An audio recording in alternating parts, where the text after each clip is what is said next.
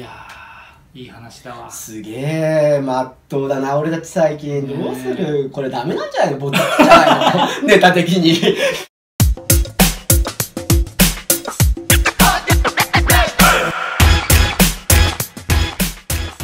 やばいっすね。なんかその今話してて感じたのは、うん。で結局その覚悟を決めるとか、うんうんうん。まあ、結構なんなんちょっとこう重たい言あ葉ーというか責任重大な感じがするけど、うんうん。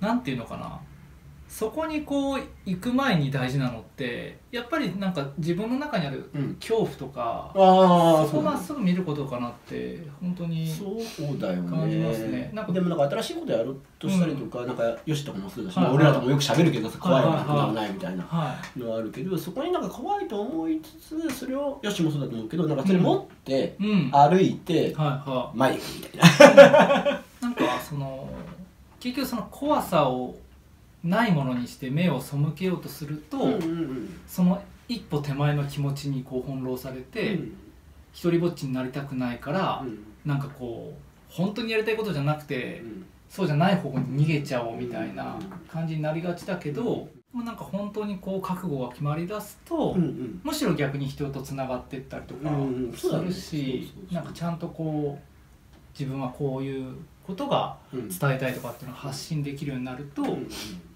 やっぱり周りにそういう人たち集まってくるし。今だからある意味すごいなんか環境が悪いとかって思ってきたから。ねなんかすごいですよね。そうそうそう太郎さんいろいろと活動されて。て、環境が整ってきてありがたいなと思うけど、でもなんか最初の頃はやっぱり、うん。その言いたいことっていうのはやっぱり伝えたいことってあって、はいはい。そのいろんな人から見ると、うん。やっぱりそれって言ってることが当たり前すぎるから、うんうん。そのビジネスとしては成り立って成功しないよってその、大きなパイでは正解しないよって言われたこともあるうんの、うんうん。でも結局どうかって言ったらさやっぱり自分はそれを伝えたいって信念だったりとかさ思うことだったりするからさ、でもそういうふうにいやみんなから言われそういう人じゃそういうお金にならないよって言われ続けていても、うん。でもやっぱりそれを伝えていきたいっていうふうにエネルギーをかけ続けてうんうん。いるから、そこに人がまた集まってきてくれるとかっていうことにはなってきてるし。ねで逆に見渡したらなんか同じような人ばっかり集まってきたみたいな 展開になってきあるいてるしね。いろいろとも呼呼んでぶんで、ねうん。だからそういう意味であの嫌な人いないしそうすごく今はいい感あじになり始めあていいですねいいですね。うん。そっかそっか。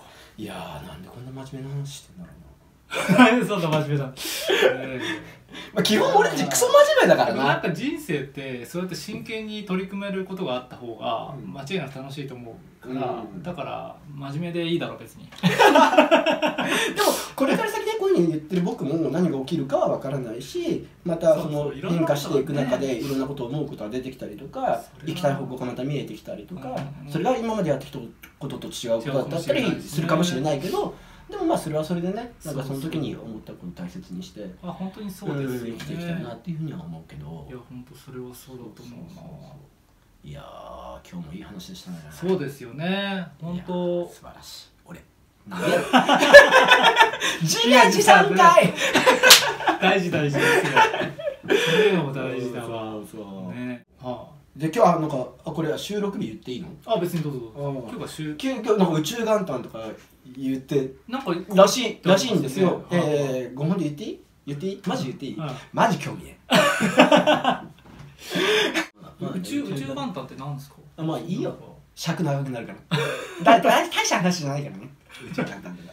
あの今日からあなたの人生が変わりますとかね。本当にやめとけまあいいっすいいっす全全体的なね流れだと思うからそれだってねうん。個人的なことだけじゃないと思うんでうん。何とも言えないですよね。そうですね。まあそこいじるんだよということでねそうですとりあえずですねはい。今日のいい話はですね。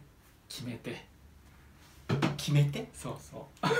前提続けていくっていうことがすごいエネルギーをかけ続けて、うん。いい時も悪い時もあるかもしれないけどね、やっぱ決まってると全然違うもんな。思います。じゃあそんな感じで。静かな感じで今日終わってしまいましたが。また次回に。行きたいと思います。はい。じゃあねはい、ありがとうねはい。バイバーイ